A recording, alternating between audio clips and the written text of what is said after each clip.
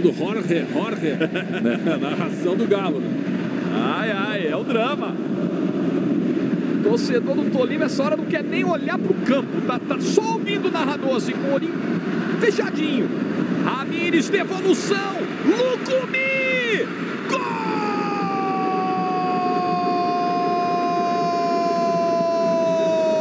O do Tolima!